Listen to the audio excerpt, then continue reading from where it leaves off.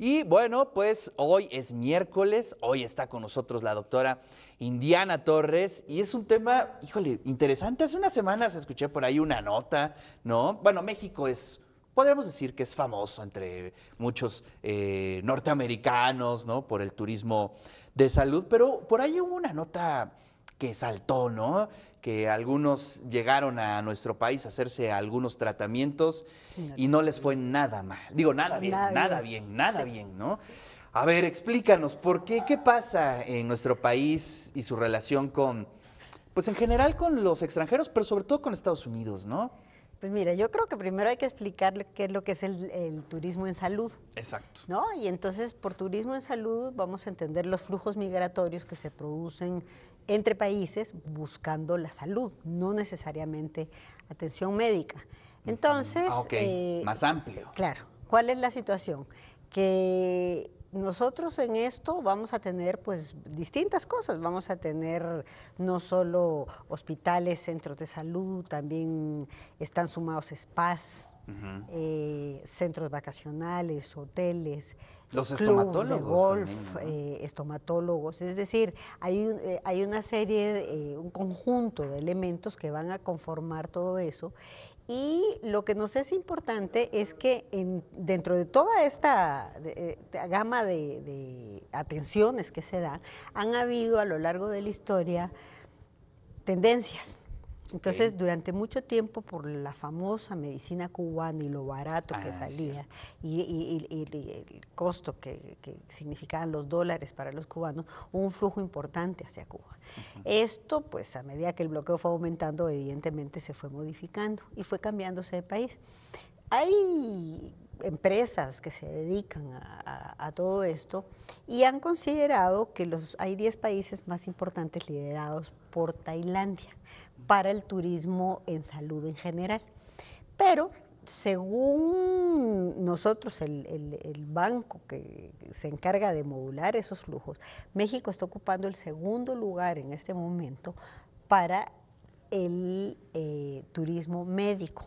Aquí es muy importante que veamos cuál es la diferencia entre una cosa y otra, porque la, eh, la capacidad de asistir a, todas estas, a todas estas extensiones pasa porque sean de carácter preventivo, no solo curativo, porque sean eh, de wellness, que casi todo está en inglés, de bienestar, ¿no? Y pasan además porque em, eh, las personas vayan a buscar eh, sanar. O sea, no, necesariamente es un acto médico, sino de sanación. Entonces, en México hemos eh, pues asistido a esto en los estados del norte de forma importante por eh, lo que esto significa, pero lo cierto es que tenemos en absolutamente todo el país la posibilidad de que esto vaya, vaya a darse.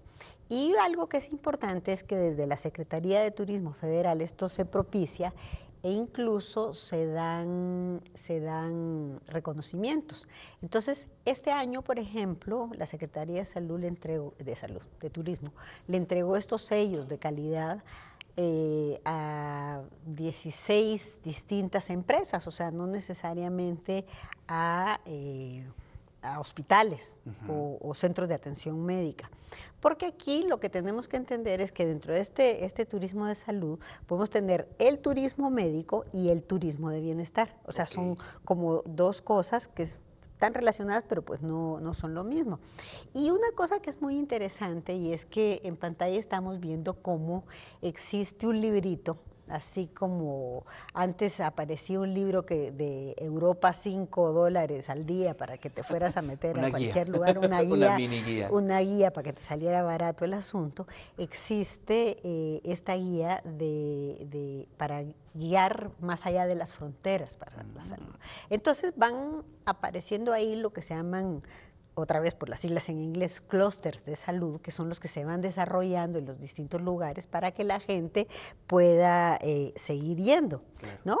Entonces, en México vemos de forma muy interesante eh, cómo esto se ha venido desarrollando y cómo existen además eh, distintas capacidades o razones para esto. Entonces, la primera es que haya pues calidad en el tratamiento, la, segunda, el que salga más barato, el la tercera, que no esté disponible el tratamiento en casa. O sea, si tú te acuerdas, o para la gente de más poder adquisitivo, eh, Houston sigue siendo el centro de atención al cáncer. Entonces viajaban y siguen viajando hacia Estados Unidos a buscar la atención. Con la COVID, por ejemplo, hubo mucho viaje para las vacunas. Sí, claro. y, las agencias de viajes hacían esa función. Claro, claro. Entonces, eh, en este momento, incluso para la vacuna bivalente, siguen habiendo movilizaciones de personas para que vayan a ponérsela. Entonces, eh, Forbes publicó una el resultado de una investigación que ellos hicieron, en donde hasta el 90% se puede ahorrar un norteamericano viniendo a México para realizarse distintos procedimientos. Entonces, ahí vemos eh, distintas cosas. Eh, eh, tiene mucho auge lo que hace a la cirugía estética. ¿no? Por ejemplo, desgraciadamente este brote que se presentó por el hongo fusarium em, fue detectado primero en seis norteamericanos que habían asistido a Matamoros a atenderse y ahí fue donde se hizo el diagnóstico y a partir de ahí empezó a, jalarse el hilito para saber exactamente qué era lo que estaba pasando con ellos. Pero estados, pues tenemos muchos estados y Puebla está incluido dentro de esos estados que está propiciando todo esto. Entonces, en el marco de la feria de turismo que se realizó pues no hace mucho, ¿no? Eh, nuevamente se publicó eh, la creación de un clúster. Cuando estaba Claudia Rivera, habían hecho el anuncio de que eh, se propiciaba el, que Puebla fuera un, centro de atención de turismo. Y eh, lo que vimos es que esto se desarrolló, pero en este momento ya, ya está dado como Puebla Care, así se llama participando en esto los hospitales privados más importantes eh, de Puebla. Pero, aquí es donde viene el pero, porque esto efectivamente es una cuestión de poder adquisitivo caro. ¿no? para ese tipo de atención, que de todas maneras para un norteamericano, aunque sea caro para nosotros, de acuerdo a nuestros ingresos, le sigue saliendo más barato.